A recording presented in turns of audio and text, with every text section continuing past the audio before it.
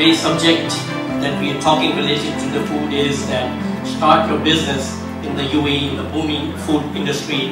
Uh, and I think today we have a great speaker from uh, uh, RAK Investment Authority and, and, uh, uh, and the RAK government to talk about the opportunities that what could be one of your great uh, distribution center of UAE.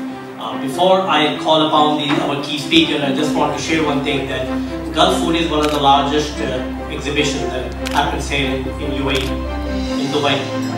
And I think this brings you all the, uh, the world uh, food distributors and industry leaders to come and share their, their brand and, and services and, and, see how the international community is working in, in this industry.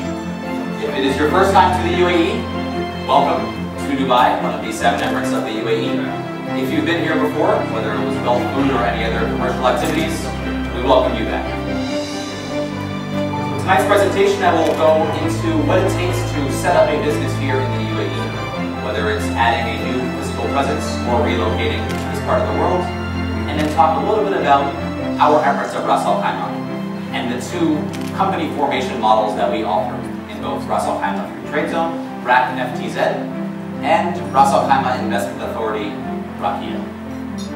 Now, oftentimes when we think of the UAE, we typically think of the two more prominent cities that are Dubai and Abu Dhabi. But it's important to not neglect the northernmost emirate, that is Ras Al Khaimah, the lower emirates of Ras Al Khaimah, to the other six emirates, as well as neighboring countries like Oman.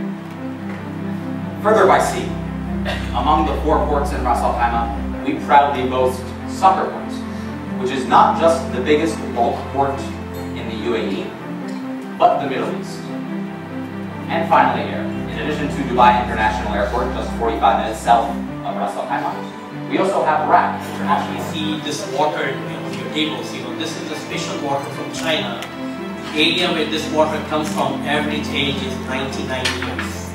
So uh, we wanted to have a special uh, Gulfood brought this water for you. You know, so I hope you enjoy and enjoy the dinner also.